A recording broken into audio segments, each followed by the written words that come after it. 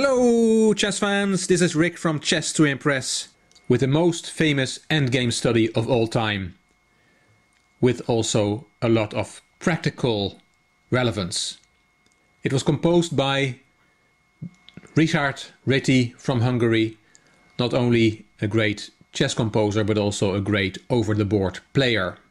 Let's look at what he created in 1921. Here it is, astonishing in its simplicity. Only four pieces on the board. It's white to play and draw, and at first sight it seems impossible as his king is too far removed from the action and the black king needs only two steps to eliminate the c-pawn, while the black h-pawn will run down the board. If you want to look for the solution yourself, how can white hold this position, put a video on hold. I'll give the solution now. The idea is that the white king can perform two tasks at the same time, which is support his own pawn and try and stop the black runaway pawn the king will, as we will see in the solution, will develop his power in two different directions.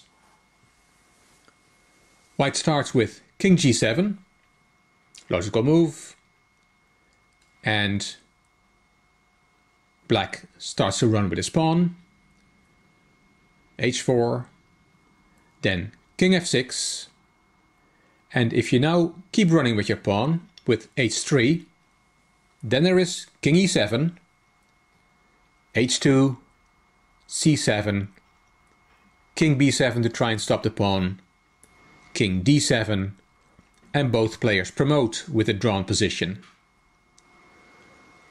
So on the second move you cannot play h3, but you can play king b6, threatening to take that c-pawn.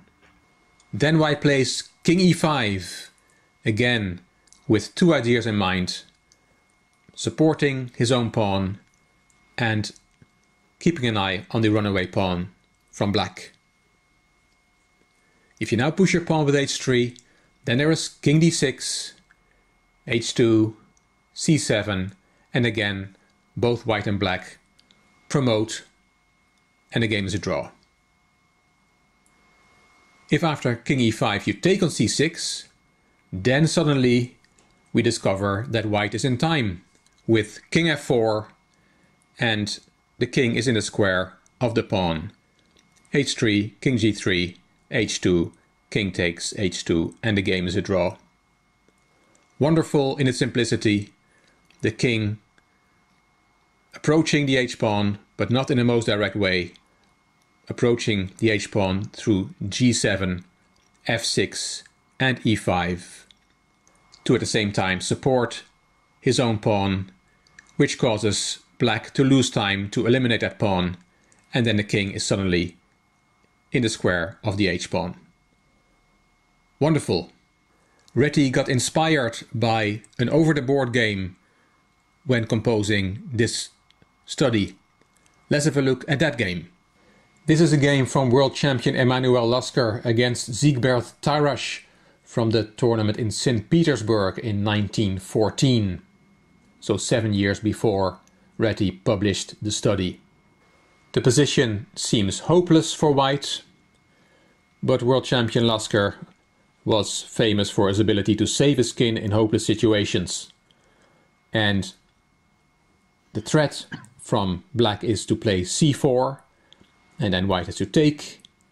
Black takes then back, followed by a4 and c3, and black will promote first and the white king is too far away. At the same time, white's trump card, the h-pawn, can be stopped easily by the black king. But let's see how the world champion once again lived up to his reputation as an escape artist. h4 he played. And now black has to play king g4 to eliminate the h-pawn. And now the very instructive move which gave Reti the idea for his composition. Lasker played king g6. King f6 looks much more logical, running to the danger side. But let's see what would have happened after king f6. After king f6, black, black plays c4. And then if you play king e5, black takes on b3, king d4, a4, king c3. Then black just has simply time to pick up the h-pawn, king takes h4. And you cannot go to b4 with white to take the black pawns because after king g4, king takes b5, black wins with a3 and one of those pawns will promote. So back to king f6, then c4, so king e5 doesn't work. So white has to take on c4, black takes back, king e5, c3, you have to take, and then a4 wins the game for black. King d4, a3, and your pawn on c3 is in the way of the king.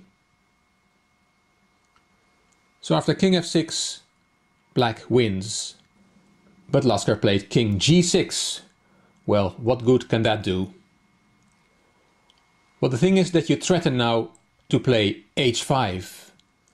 So black has to lose a tempo by taking the pawn on h4. And also, the white king is now on a different diagonal. We saw earlier that on the diagonal a1, h8, the c-pawn, white c-pawn was in the way of its own king. But now the white king is on a different diagonal. So let's see what happens then.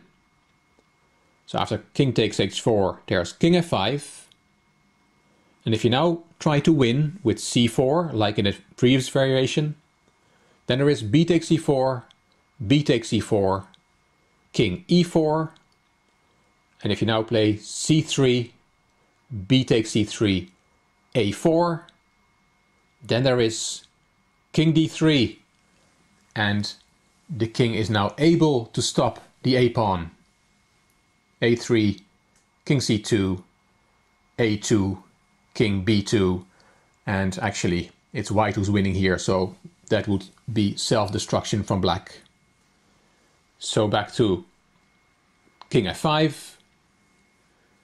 Tarrasch saw the danger on time, played king g3, king e4, king f2, king d5, king e3, king takes e5, king d3, king takes b5, king c2, king takes a5 and Tarrasch took on b3.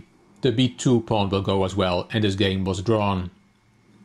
So a wonderful concept from world champion Emanuel Lasker playing king g6 instead of the much more logical looking king f6 to gain a tempo. The black king had to take on h4.